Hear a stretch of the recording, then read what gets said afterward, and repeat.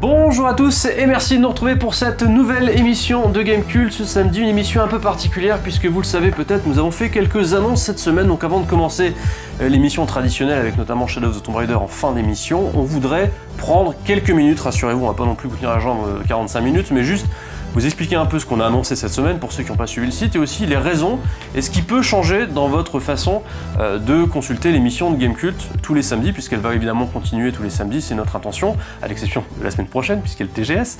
Euh, toujours est-il que voilà, on voudrait simplement revenir rapidement sur euh, ce qui va se passer très prochainement donc sur le site vous concernant et si vous regardez cette émission, a priori vous le savez déjà puisque l'émission fait maintenant partie d'une offre premium puisque l'émission étant financée par les abonnés, ça nous semblait aussi naturel de continuer à la développer à la pérenniser. Et donc pour cela, on a pris une décision assez euh, audacieuse et, euh, peut-être euh, risquée, je ne sais pas, qui est donc de la mettre dans cette offre premium. Donc si vous voyez cette émission, a priori, il y a deux conditions remplies. Soit vous êtes abonné premium, soit vous avez micro-payé ou payé à l'unité, je préfère ce terme, euh, pour l'émission, puisqu'on propose également cette semaine, pour ne pas trop pénaliser les gens qui veulent que l'émission Game Cult, tout simplement de ne prendre que cette émission plutôt que prendre un abonnement au mois.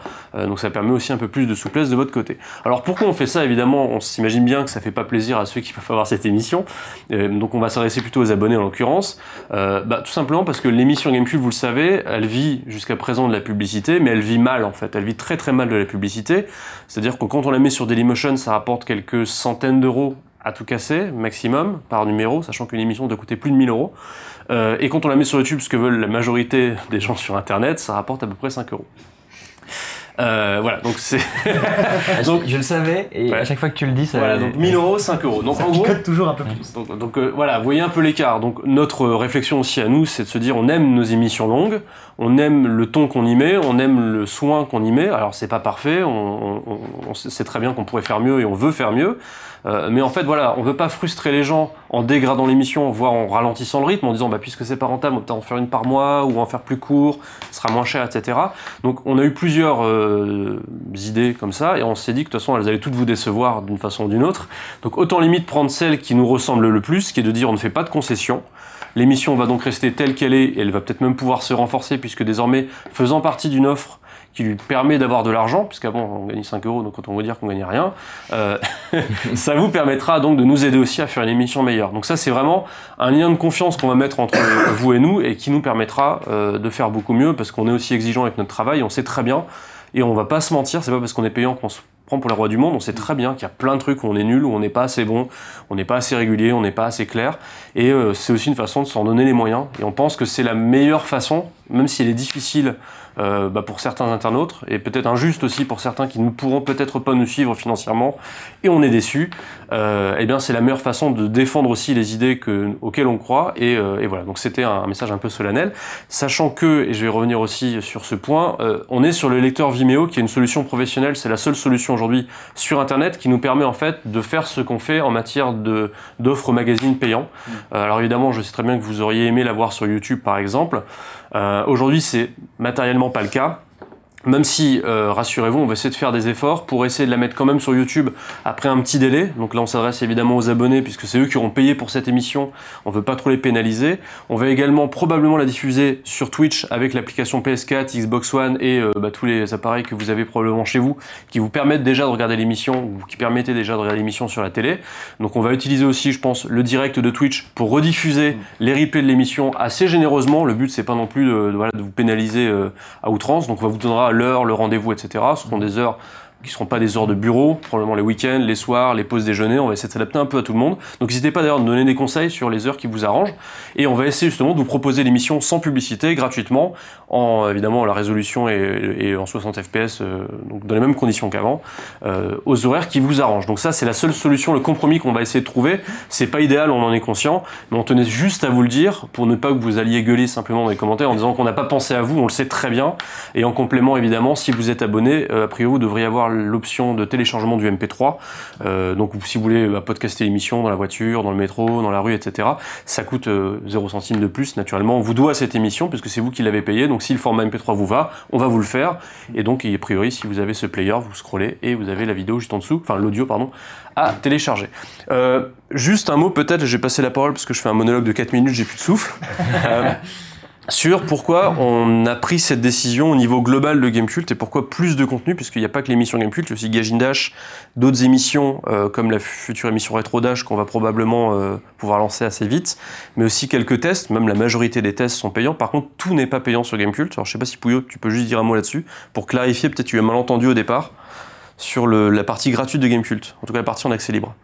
La partie en accès libre, bah, finalement, Gamecube, tu peux quand même toujours le consulter en accès libre, puisque la plupart, enfin, la plupart des actualités, l'immense majorité des news, 99% à peu près, seront toujours accessibles euh, librement. C'est-à-dire que tu cliqueras, elles vont s'afficher. Alors évidemment, si tu consommes beaucoup d'actualités, tôt ou tard, mm. euh, bah, tu as toujours un petit message qui te dit que, c'est Gamecube qui t'offre l'accès à ces news, mais euh, voilà, pour le coup, euh, ça, ça reste entièrement gratuit. La partie live est également accessible à tous, puisque bah, voilà, ce sont des, des moments de partage aussi, et puis ça nous permet euh, voilà, d'être en liaison directe avec les, les lecteurs. Hein? c'est beau ce que tu bah non, mais non, mais sans vous, on pourrait pas s'améliorer, on pourrait pas être meilleur en skill, hein, ça, va, ça va de soi.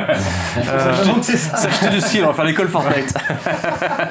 Et euh, voilà, les tests aussi. Euh, là, ce sera, il y en aura une partie qui sera évidemment en accès libre et d'autres qui nécessitant un peu plus d'investissement, que ce soit en temps, que ce soit en personnel, puisque voilà, on va faire appel aussi à des pigistes. Mm. Et on va faire de plus en plus appel à eux aussi mm. pour consolider notre offre de test.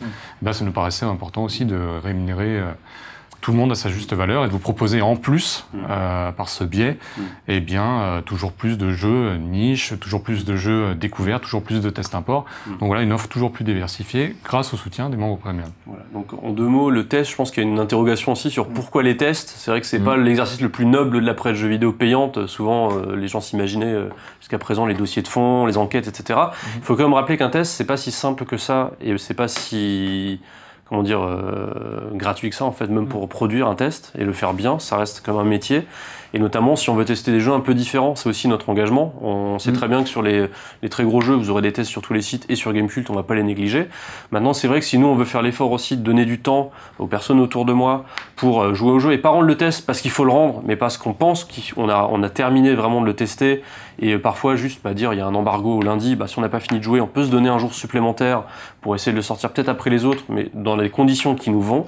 Euh, ça devient important aujourd'hui de, bah, de, de, de, protéger ça aussi. Ça nous semble une, une, belle idée à défendre aussi, de garder de la diversité dans, dans la couverture du jeu vidéo et de rester sur du Japon, sur de l'indé, sur du triple A, sur du double A. Mais c'est ça en fait, c'est-à-dire que euh, évidemment la plupart, je pense, je pense pouvoir mm. dire sans me tromper que la plupart des tests de gros triple A devraient être en accès libre. Mm et encore on verra j'imagine au cas par cas, mais tout ce qui va être euh, un peu plus euh, recherche, veille, fouille, mm. presque prescripteur entre guillemets, mm. genre voilà, nous on est parti mettre les mains dans le dans la mm. mare à pu qu'estime pour vous sortir le, le, le, petit diamant qui est là et ça nous a pris X heures de faire la veille, de tester le jeu de machin. Bah oui, là effectivement, il sera peut-être euh, sera peut-être un test premium et, euh, et c'est quelque chose qu'on assume aussi que bah il y a, y a, une vraie démarche enfin la démarche elle est pas que d'écrire un test ou de jouer 5 heures à un jeu quoi.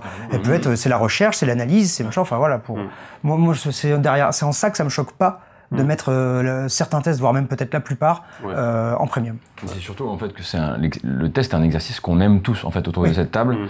euh, et qu'on aime bien faire et qu'on aime qu'on aime soigner. C'est-à-dire que c'est pas un truc qu'on subit, c'est pas une, enfin que ce soit d'ailleurs euh, les tests de voilà des, des, trucs que tu vas chercher dans Steam que euh, enfin que ce soit même Spider-Man pour un exemple récent voilà exactement. C'est un exercice qu'on aime et qu'on voudrait défendre dans sa dans notre capacité à le faire euh, avec en prenant le temps c'est un exercice aussi quand je pense qu'on veut essayer de respecter un minimum. Alors tous nos tests sont pas parfaits évidemment. C'est pas peut nous envoyer à la gueule ce qu'on fait mal mais genre globalement oui un, on, pense que ça reste quand même quelque chose qui doit être fait sérieusement mhm. et pas par dessus la jambe. C'est pas juste noter un jeu sur lequel on a joué une heure. C'est parfois essayer d'aller le trouver ce jeu et, c'est vrai que voilà, juste pour vous la faire très très courte, euh, nous on veut faire plus de tests, on veut faire peut-être aussi des tests euh, un peu meilleurs. C'est aussi ce, cet engagement, c'est toujours se remettre en question. Et on entend les critiques, c'est parfois sur certains de nos travaux et on peut les entendre. Euh, et on, on, on sait qu'elles existent. Et après, voilà, c'est aussi l'idée de se dire que on, on sait très bien que c'est les premiers trucs qui vont sauter sur l'internet gratuit, mm. euh, l'internet financé donc par la publicité, vous le savez, dans un monde où malheureusement bah, la publicité va de plus en plus sur Facebook, va de plus en plus sur YouTube, euh, parce que c'est des, des, données très perso sur sur bah, votre historique de navigation, sur ce genre de choses. Euh, et donc en fait, nous euh, médias qui pouvions, pourront perdre de l'argent, alors c'est le cas de tous les médias, il n'y a pas que Gamecult, euh, on sait très bien que c'est la diversité de l'information qui est menacée, ou le sérieux qu'on y mettra. Mm. Donc ça, c'est un truc qui est important. Et même simplement la liberté de ton. C'est vrai que des fois, euh, voilà, le lien entre la publicité et euh, l'évaluation sont un peu poreux. Mhm. Euh, c'est une réalité du. Tout le monde le... Oui, c'est. Enfin, c'est une réalité. Mhm. voilà, et donc c'est important de pouvoir garder cette indépendance et cette liberté de ton aussi dans ce, dans ce métier qu'est le test. Et, sachant que. Et je vais terminer juste là-dessus, en tout cas pour ma partie, après je peux vous redonner la parole, mais c'est vrai que ne, ne voyez pas les tests payants comme l'offre premium. Encore une fois, nous, notre but, c'est d'avoir un site globalement magazine. Alors il y aura toujours une partie gratuite qui sera majoritaire d'un point de vue purement du nombre d'articles, mhm. mais c'est vrai que nous les tests, c'est comme quand j'achetais un magazine il y, a, il y, a, 20 ans, comme je peux encore en acheter aujourd'hui quand j'achète euh, des magazines qu'on aime beaucoup dans la presse française, que sont JV, que sont euh, euh, Canard PC évidemment, il y a aussi des magazines anglo-saxons qui sont de très bonne qualité, et vous apercevrez que indifféremment de la qualité des contenus, parce qu'évidemment, vous pouvez toujours préférer les tests de Canard PC, les tests de JV, les tests de Edge, ce que vous voulez. En fait, un magazine, c'est quelque chose de complet. Il y a des articles courts, des articles longs, il y a des articles critiques de jeux, un peu plus guide d'achat peut-être, en tout cas, qui ont plus vocation à conseiller ou déconseiller des jeux. Et puis au milieu de ça, il y aura des portraits, on parlera de musique, on parlera de développement, on parlera de rétro gaming. Et toutes ces thématiques-là qu'on a un peu délaissées parce qu'elles ne sont pas jugées alimentaires dans un monde de publicité, on veut les remettre en avant au milieu des tests. Donc ça, c'est aussi quelque chose qu'il faut tenir en compte. C'est pas juste nous qui à les mettre en avant parce que c'est déjà ce qu'on faisait, etc. Et c'est vrai que c'est, euh, on a envie de pouvoir s'accorder ce luxe-là actuellement, qui est de mm. ne pas euh, demain euh, mm. se dire que, bah, que de, manière vitale, il faudra newser sur Fortnite, ou l'e-sport. ou c'est le luxe aussi de pouvoir ignorer les choses sur lesquelles on se sent pas de parler. Plutôt que juste arriver sur un genre. Euh, oui, de, oui, de pas subir. Game Cult, et le, je, je, je le dis, c'est pas du tout euh, une pique, mais on est l'un des tout derniers sites au monde à ne pas parler de cinéma. Hmm. Par exemple, de sortie de films, d'Avengers, de, de, de, de, Star Wars, etc. La raison pour laquelle on, on prévient, fait... On prévient juste quand il y a un film Minecraft en préparation. c'est normal. Ou quand ils annulent le film Uncharted euh, pour la quatrième fois. mais, euh, mais voilà, typiquement, c'est pas du tout une critique envers les autres médias, mais c'est un choix que nous on fait, et on hmm. sait très bien qu'on se qu'on perd aussi beaucoup de choses, parce qu'on n'a simplement pas d'intérêt à le faire. On sait qu'on n'a rien à vous apprendre dessus. C'est pas notre compétence, on va pas s'improviser, on va pas couvrir les, les keynotes Apple euh, sous le prétexte un peu bizarre qu'en fait, bah oui, tu peux jouer à des jeux sur le téléphone, du coup, on va faire, on va essayer de de, truster les premières places de Google en, parlant de l'iPhone XS Max à 1600 balles. Donc on, veut aussi. Bien joué. je, l'ai placé parce que je, non, je l'ai pas précommandé. Faut exagérer. Mais euh, voilà, c'est aussi ce choix de dire non à des choses que d'autres voudront faire, mais je, ils seront pas obligés de le faire. Ils voudront le faire, c'est leur choix éditorial. Nous, on veut pas le faire. C'est mhm. voilà. Et euh, complémentaire à ce choix-là de pouvoir dire non, il y a le choix justement aussi de dire oui à des trucs qu'on ne nous demande pas. Mm. de se lever un matin avec comme une envie de pisser, faire un portrait sur ce mec dont on parle plus depuis 20 ans ou sur mm. ce jeu euh, parce qu'il nous a fait débloquer un matin euh, il y a 15 ans parce qu'il y avait une feature de gameplay de dingue, de prendre le temps, bah, pareil avec les game cultes, mm. etc., de se dire on veut aussi pousser des sujets, même s'ils sont pas dans l'air du temps, même s'ils sont pas pertinents avec l'actualité, mais juste des choses dont on a envie de parler, quoi. Même s'ils sont pas, même s'ils sont pas sur 30 000 signes aussi, parce que tu peux avoir tout à fait envie de prendre, de prendre, euh, bah, une demi-journée dans le dans le temps d'une rédac, c'est beaucoup. Euh, ça peut te permettre de faire un article assez intéressant et plutôt plutôt synthétique. Mm-hmm. Il faut pouvoir prendre ce temps-là euh, sur du temps que tu pourrais être à faire de bah, de la news Fortnite ou autre chose. C'est vrai qu'il faut savoir que ce voilà ce Gamecube Premium, ça veut pas dire forcément que des articles de 150 000 signes pour autant. c'est aussi un truc qu'on voulait changer, c'est qu'on va garder des articles de 150 000 signes, mais on veut aussi au milieu, c'est comme un magazine en fait, voilà, on veut que vous puissiez tous les jours lire Gamecult et finir un article de Gamecult premium et pas simplement commencer à dire écoute voilà, c'est 45 minutes, j'ai pas que ça à faire. Donc on veut dans un magazine, en fait, tu as des dossiers de 8 pages et tu as des articles d'une demi-page, quoi. Et ben, faut qu'on puisse avoir cette. Il y aura peut-être des choses plus légères, des choses même humoristiques, je sais pas, parce que c'est pas forcément notre forme, mais en tout cas, des choses sur lesquelles on, se. Jamais trop été Non, non, j'ai l'humour. Sinon, il y a la police qui est pas loin, donc. voilà, mais en tout cas, euh, enfin, ça, c'est notre intention. Donc, encore une fois, on va pas vous faire non plus euh, trop de promesses. On a essayé d'améliorer Gamecult. La chose que vous avez sans doute vue, même si tout le monde n'est pas d'accord, c'est que depuis le lancement du Premium, on a Améliorer Gamecult, ça c'est vraiment l'appréciation de chacun, en tout cas on l'a diversifié. C'était vraiment notre but aussi de dire on va faire des choses, on sait très bien que c'est pas rentable.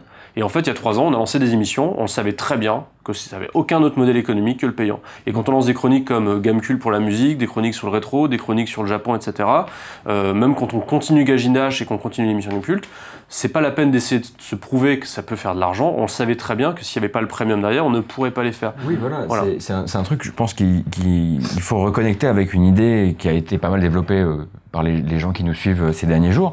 c'est que quand on a commencé à lancer euh, ces formats-là, mm. quand on a commencé à faire euh, des speed dating sur des petits jeux, quand on a essayé de s'intéresser aux jeux gratuits, quand on a fait plein de petits trucs autour comme mm. ça, c'était déjà la préparation de cette idée-là. C'est-à-dire qu'on n'est pas venu, il n'y a pas quelqu'un qui, qui, est entré un jour chez nous en disant, voilà, il faut que vous fassiez ça, sinon en fait on va vous tuer. Mm. En gros, ça fait des mois et des mois et des mois qu'on livre ce, ce, qui est notre vision mm. de ce qu'on veut continuer à faire maintenant. On n'aurait pas pu continuer à le faire indéfiniment. C'était une, une, note d'intention. Il fallait qu'on lance ce premier maintenant, parce qu'effectivement on était en plus en, en, mode un peu early access sur le truc. Voilà, ça fait un an qu'on est en note d'intention sur ce qu'on veut mettre dans ce premium. Et peut-être aussi, euh, je voulais revenir sur une remarque qu'on a eue hier en live avec, euh, avec Gauthier.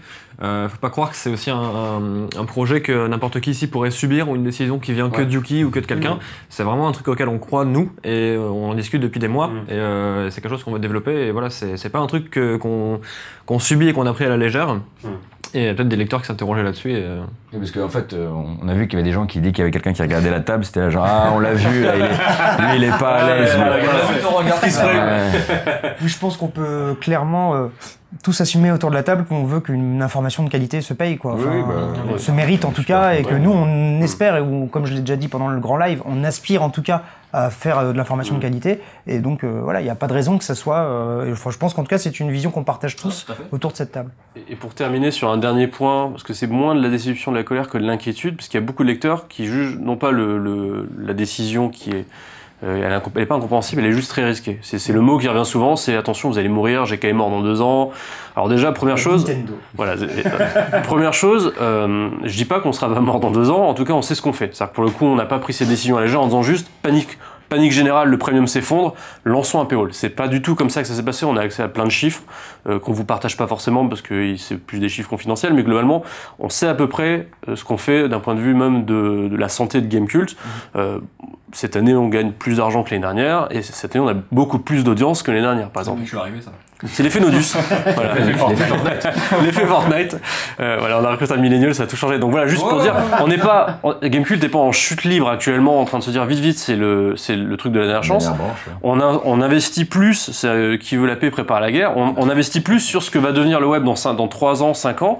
On sait très bien qu'il va y avoir d'autres sites qui vont fermer. Euh, cette année, il y en a eu bah, typiquement un site qu'on aimait beaucoup, hardware.fr, mhm. qui est comme un site ultra pointu. On pourrait pas dire qu'hardware.fr c'était mainstream, mais il l'a payé, on va dire, de son existence, puisque la rédac de hardware.fr s'est fait lourder. Même à l'époque, euh, jeuxvideo.fr. Jeuxvideo.fr à l'époque. mainstream, justement. voilà, euh, No, Life, no Life aussi, qui, bon, on n'a pas réussi à trouver le modèle économique qu'il fallait à la télé. Donc en fait, on sait très bien qu'il y a une convergence quand même vers le mainstream, vers tout sur YouTube, tout sur les réseaux sociaux, et plus de divertissement, moins d'informations. On dit pas qu'on est des héros, on dit pas qu'on est parfait, simplement, on dit simplement, on, on veut essayer quelque chose. Donc encore une fois, si on doit juste mourir parce que vous nous trouvez nul, c'est une mort qu'on accepte. Voilà, c'est genre limite, bah, bien. La meilleure excuse. voilà. Ce intéressant aussi, c'est qu'on veut essayer un truc et que si on peut le faire, c'est aussi grâce à vous. Enfin, oui, oui. On, a eu, ouais, on a eu des moyens aussi qui nous ont permis. Enfin, le problème ayant marché, on, savait très bien qu'on avait peut-être un, un, joker là-dessus. Mm. Et c'est pas TF1 qui nous a tordu le bras en disant euh, faites-le. Euh, voilà. Donc ça, c'est, ça s'est pas passé comme ça du tout. Mais, euh, mais voilà. Donc ça, c'était juste le point. Et encore une fois, on préfère vous décevoir en étant payant qu'en étant mort. Ou en étant mauvais, ce qui est encore pire. Donc c'est voilà, c'est juste le message qu'on voulait vous passer il peut vous paraître un peu prétentieux, un peu solennel. On comprend les critiques, on va les lire, euh, on va essayer d'y répondre quand on pourrait y répondre. Maintenant, ne cherchez pas à discuter avec nous de ce choix de modèle économique parce que toutes les autres alternatives euh, vous ont aurez, été étudiées. ont été étudiées et on juge qu'elles vous auraient bien plus déçu. Euh, alors que là, l'émission, bah, vous l'aurez toujours le samedi, vous l'aurez toujours dans les mêmes conditions qu'avant, et on va s'arranger. Pour être généreux sur le. Voilà, on va s'arranger en étant le plus généreux possible pour ne pas non plus s'agripper à nos DRM en disant juste ah non l'émission est à nous machin. On va essayer de limiter le piratage de l'émission parce qu'on sait très bien que c'est un phénomène qui va arriver. Donc on compte sur vous aussi pour pas faire les cons. Si vous êtes payé pour l'émission, respectez aussi le fait que euh, on veut qu'elle vive et que si jamais tout le monde la partage gratuitement, elle va mourir. Donc c'est juste voilà, ce message que je veux vous passer et on va faire des efforts. On sait très bien que Vimeo c'est pas la panacée. Pour l'instant c'est la meilleure solution qu'on ait trouvée, mais il y en a peut-être d'autres et on va les étudier, on va regarder et n'hésitez pas à nous conseiller là-dessus. Salut à tous, c'est Hubert. Euh, pour ceux qui ne me connaissent pas, je suis le dernier membre de la rédaction. Euh, c'est, euh, je suis réalisateur, monteur pour quasiment toutes les émissions vidéo et audio sur le site. Euh, je vais vous parler de, euh, de l'évolution, moi aussi, de Gamecult Premium, euh, de son impact. Par exemple, pour Gamecult l'émission, elle passe derrière un paywall, alors que ça fait 10 ans qu'elle est, qu'elle est en accès libre. donc ça va faire beaucoup de déçus, évidemment. voilà, même moi, ça me fait bizarre de me dire que voilà, pendant ces années, elle, elle était en libre accès, maintenant elle est réservée aux abonnés. Mais il faut voir le très bon côté des choses, c'est que ça, ça protège cette émission. comme Yuki l'a dit, ce n'est pas un format qui est rentable. Elle ne l'a jamais été en fait. voilà, comparé au coût de production, vous avez cinq rédacteurs qui sont au moins trop parfois trois heures sur, euh, en tournage sur un plateau au lieu de faire autre chose comme des news, des tests euh, ou des choses un peu plus rentables. Euh, on a ce luxe de se permettre, de, se permettre de, prendre le temps de faire des émissions longues comme ça. Donc cinq rédacteurs qui sont là sans compter le temps en plus derrière pour préparer voilà les news dont on parle dans le point news, les jeux qu'on a testés, en parler sur le plateau, tout ça prend beaucoup de temps. Donc il y a moi qui passe parfois plusieurs jours sur les formats en fonction du format. J'ai ce luxe-là aussi de pouvoir prendre le temps, de pouvoir euh, privilégier euh, la qualité à la quantité. On me demande pas de faire 36 vidéos pour afficher 36 pubs en pré-roll euh, sur les vidéos. On a un ingé son plus sur, sur GK l'émission pour faire un, son, un joli son, voilà, pour que l'émission soit le plus chiadé possible.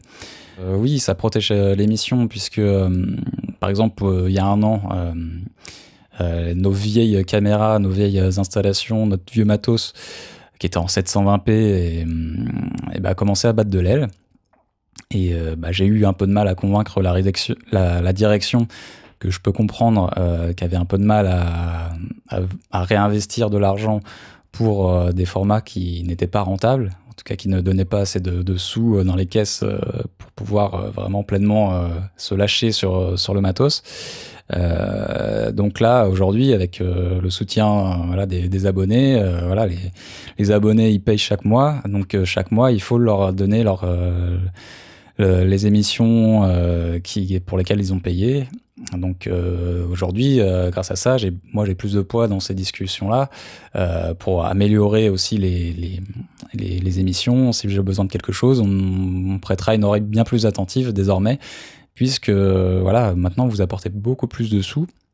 On on va pas dire que c'est business non plus, mais euh, en tout cas, euh, moi, je paye, euh, je, pèse plus dans la balance et tous les, du coup, les, contenus vidéo et audio sur, sur GK ont plus, en plus de poids désormais. Et on va pouvoir assurer un suivi matériel un peu plus fort. Donc, il me reste plus qu'à vous dire ceci. Merci les abonnés.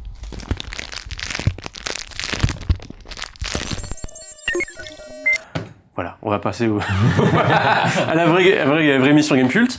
Euh, Précisons qu'on va se téléporter dans une autre réalité où ah oui, on, a beaucoup sué. D'ailleurs, euh, on a bien écouté aussi toutes les demandes du premium et donc je ne suis plus dans l'émission à partir de maintenant. Le PO va arriver.